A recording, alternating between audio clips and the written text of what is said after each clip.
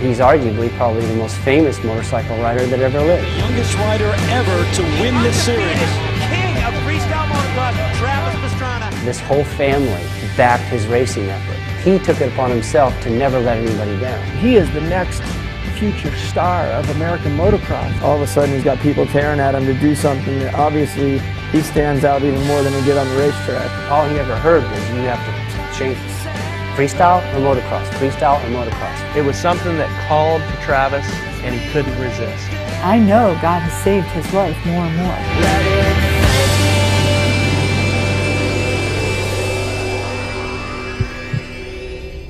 That car crash was the worst day of my life. Police officers estimated his speed at the impact of the tree of being 130 miles an hour. Made a, a huge mistake. Blood squirting out of his head. If I just paralyze this guy, I, I mean, I don't, I don't know if I can live with myself.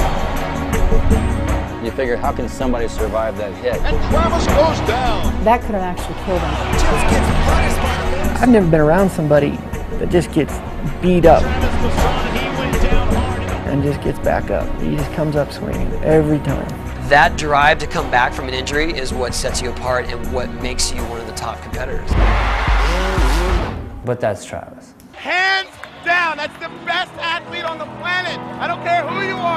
You'll find these moments and these this sketchy terrain, this real sketchy mental terrain, where he's really happy. And he lives for the moment, so I think he pushes himself to see how far he can actually go. Pastrana flipping out of the game. He is and always has been prepared to hurt himself or kill himself to have a good time. For some reason I don't make it to the bottom, I died happy. Travis Pastrana flipping everything.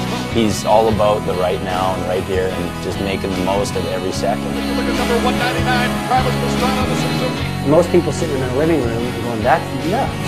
Here comes Pastrana. No matter what it is he does, he has to push himself beyond what he knows his limits are.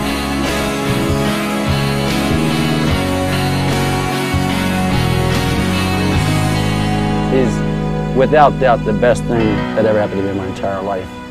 I'm sure gonna miss him when he kills himself, but it's been a hell of a ride, Travis.